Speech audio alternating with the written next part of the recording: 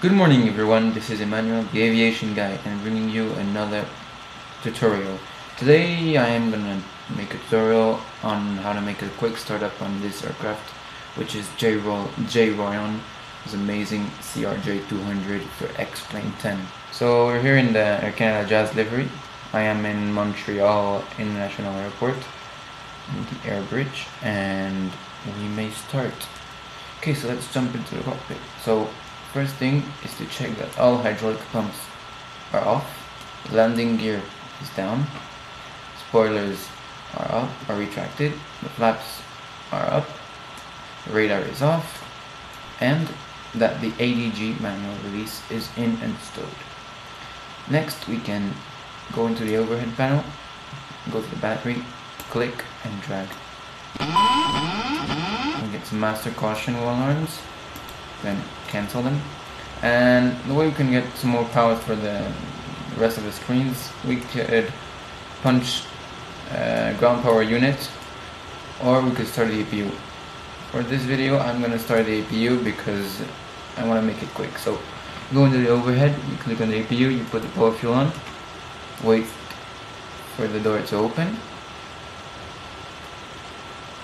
Okay, now the door is open, so we can start it. So the APU is starting.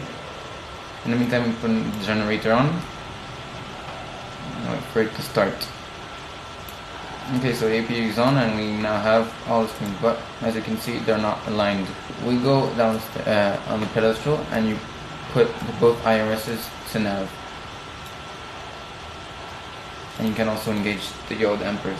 Start aligning the IRSs. So the way to do it is go into the FMS, the MCDU, you go to FMS1 active, position in it, and you type in the APU code of the airport you are presently at. So for me it's Montreal, so Charlie Yankee Uniform Lima, put it here, and you get a coordinates, you copy them by clicking this button, and you paste them on the set position. And now here we have IRS and aligning procedure and we cannot taxi. So now we're going to proceed to boarding. So I'm gonna open the door. Just go past the cockpit and take this red uh, lever and just put it up. And passengers can start boarding. For flight planning, I have an application for CRJ which is called iGoDispatch that someone made for X-Plane and it's amazing. It calculates the fuel you need for your trip and it gives you some you can choose how many passengers It gives you gross rate to give you zero fuel weight fuel weight and everything. So I've calculated everything.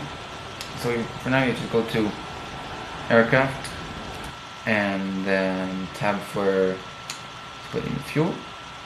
And it gave me 5,000 uh, pounds of uh, of cargo and passengers. And 6,000 pounds for fuel for my trip to Quebec. Uh, okay, so now the plane is loaded. Next thing to do is to go to performance, thrust limit, and to get the outside air temperature from the METAR or ATIS, or ATIS if there is one available. So I know for now in Montreal today, temperature is 30 30 degrees, so put it in, in there outside there temperature. And you have some thrust limits. Takeoff, climb, cruise. So obviously we're gonna take off soon, so 19, 99, 89.5 is the limit, N1 limit for takeoff. It's on blue. And when you advance the throttle on takeoff, it will not uh, overspeed that 89.5 N1 limit. Okay, so now we have uh, IRS is aligned and with also the plugin iGoDispatch gave me some speed for my current uh, weight. So the way you do it you just go on this panel. You click like this and you get V1 so my V1 speed is 138 V rotate 140 and V2 148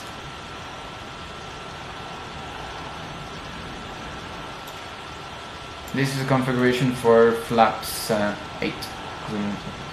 Okay, let me set the altimeter in Montreal. 2963. Perfect. And for now, I think that's it. So, passengers are boarded. We can now close the door. Just go to the same position and pull the red lever. Now, door is closed. Go back into the flight deck. Okay, so we're gonna set the light. Then we're gonna set the seatbelt sign on. Emergency lights to armed.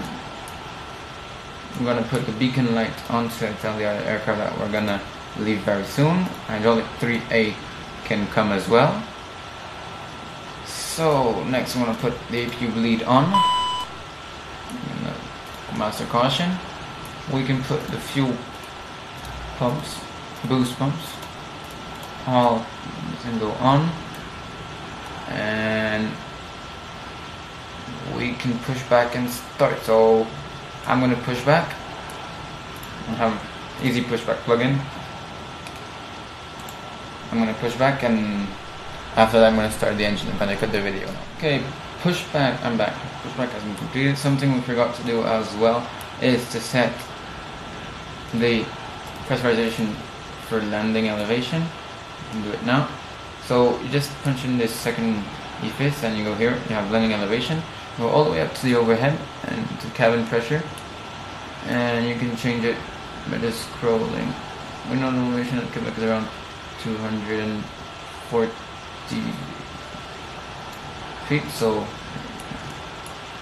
wait, um, there it is. There it is. So we have set and also set a stabilizer trim. I have it from flat, from that same application iGoDispatch, and it is 7.5. Okay, set. So now we're gonna start the engine. So you go to the overhead panel. You can choose any. Uh, you can arm any uh, ignition, A or B. For this video, I'm gonna choose A, and you start the right engine here the start and uh, ITT is rising. And uh, when it gets to now about 18 you put in the fuel in. You put the fuel in. With some beeping sounds and the engine is starting. So the engine now started we can start left engine. So same process. Start. Wait for about 17 to 18 ITT, which is now, and you can put in the fuel. Great. Master caution as well.